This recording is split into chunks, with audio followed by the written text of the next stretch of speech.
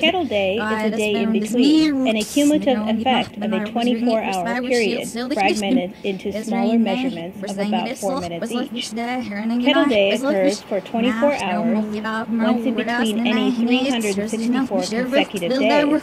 A kettle day is composed of 364 divisions known as kettle meters, each kettle meter consisting of 237 seconds.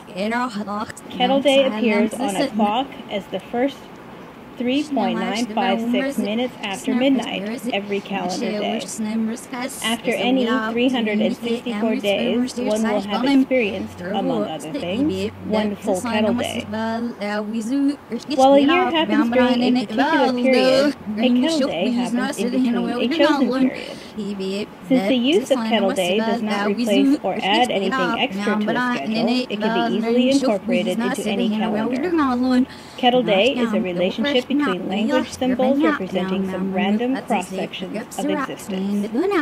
Like counting the sand of an anonymous desert, there's no ceremonial purpose to kettle day. It's like any other day, it's just another measurement.